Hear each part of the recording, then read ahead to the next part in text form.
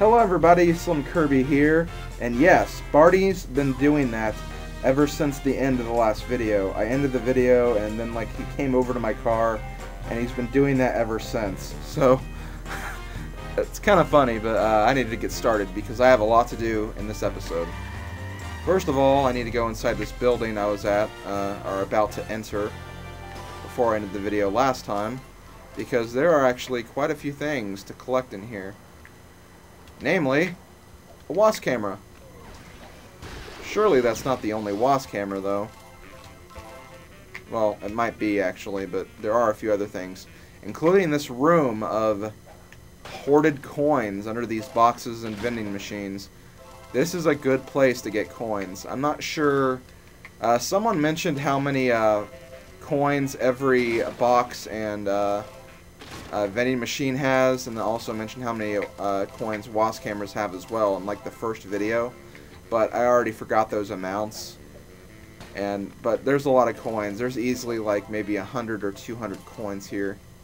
A lot of coins to get in that one area. Okay, let's see. Next we gotta climb this ladder. Ah, come on. I think there's actually a level collector card up here somewhere. I don't. I know they put a lot of wasp cameras in very weird places, but I don't think they'd go go this far. Okay, there we go. And that should be the last collector card, actually. Let's see. Lisa's machine. And that's not even close to being the last WAS, uh, last level card, so I actually have quite a ways to go for my wasp cameras. As for the Lisa's machine reference, I don't really remember, so I might as well just show you what this uh, this view card screen does. What you can do is just select uh, each one of the collector cards, and you can see which uh, one it's from. Oh, Lisa's wedding. Okay, I was right about the uh, Lisa's future vision. And then there's also, let's see, let's see the Lisa's machine. Oh, the PTA disbands. Okay, I remember that. He just, she just randomly built that machine uh, she was obsessing over it. Uh, I remember that episode now. Okay, so, uh, Okay, so let's go ahead and do the first, or not the first, second street race. It's actually the third street race, but it's the second one I'm doing.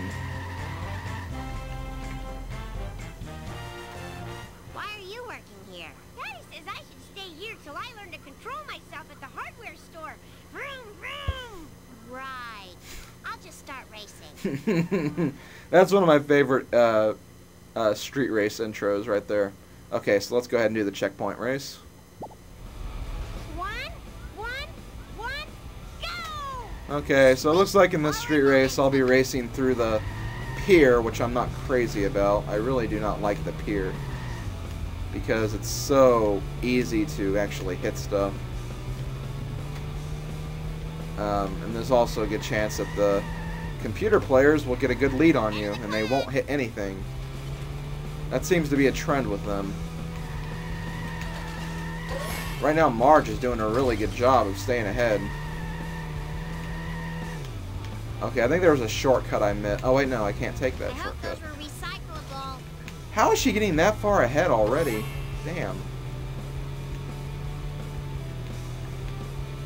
This might be another one of those instances where I say, oh, cut until the successful attempt. And yeah, uh, don't think you can't take that. Oh, crap. I forgot about that. Yeah, I'm probably going to lose this. And I'm probably going to cut the video until the successful attempt. Let me just wait until the mission failure screen. Okay, I'll see you guys when I actually get it right. Okay, I'm back. Ah, jeez. This street race has been so annoying. I actually had to keep restarting until Marge actually screwed up to actually give me a chance of actually winning this. I swear, this like the AI is so stupid that most of the time that they screw you up by screwing themselves, and then Marge just takes advantage of that. So angry, so angry, but I beat it. Okay, guys, uh, sorry about that. Let's go ahead and see the ending.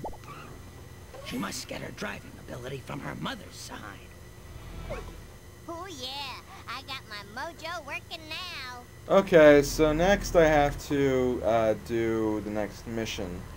which hopefully I can actually do with the time I have left. I should be able to, but I don't know. That street race just kind of demoralized me and kind of actually got me off track of time. So, don't know if we'll actually be able to do this next mission in time or not. I'm to try it, though. I think this mission is actually pretty easy. What did I hit? Never mind. This, this game is just, like, really throwing me through a loop right now, which is a shame, because I really love this game. There's so many stupid things happening at once. Oh, jeez. Okay, so next we're going to talk to Grandpa to start the next mission.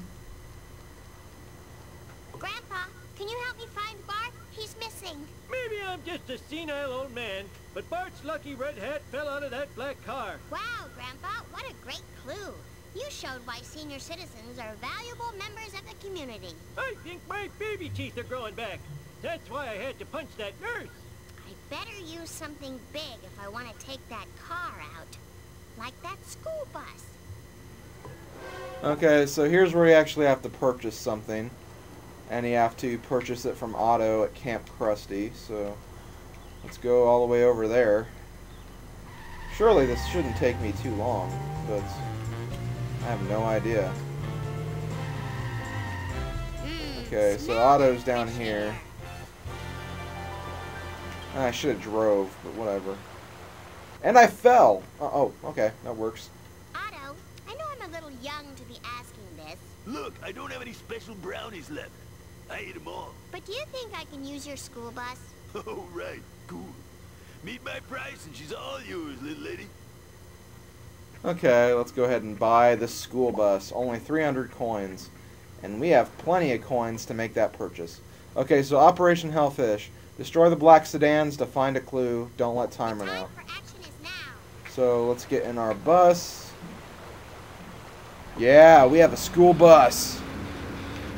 Have you ever wanted to drive a school bus before? Actually, I wouldn't because these buses are huge.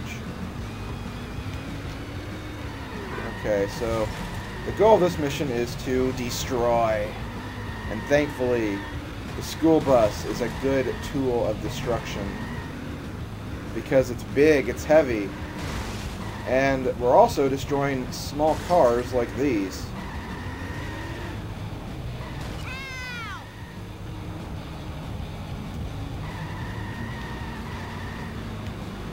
Okay, surely we can destroy it now. There we go. Unfortunately, I think we have to destroy like three of them, so that's why I'm worried about the time limit for this mission. So if I reach about the certain point where I have to end the video, I'll just end it because, well, I really don't want to lose any more time. It's just that stupid street race. That's what really screwed everything up. That was actually a really hard street race, to tell you the truth. I mean, you wouldn't think it would be that hard. I mean, it's just a race, but for that race in particular, you have to drive on the pier, first of all, which is a challenge in itself. And then you also have to try to pass a vehicle that has more top speed than you, which is kind of unfair. Oh. Oh, yeah! Yeah, take that! Oh, wow, it's already dead. Uh, I don't know if we'll have time to destroy this last one, but... Wow, that was a epic destruction right there. Okay, I think we have to go to the pier, I think. Let's go ahead and make this jump. Yes, Lisa, you are flying. You're flying in the school bus. Okay, this should be the last one. I have no idea. This could be close. Oh, wow. Okay, that works. Mission complete, and I actually did it in time. That was epic. Epic beyond belief. But anyways, this is Slim Kirby. Next time on Let's Play The Simpsons Hit and Run, I'll do the final street race. And then I'll also do the next mission. So see you guys next time. Later, folks.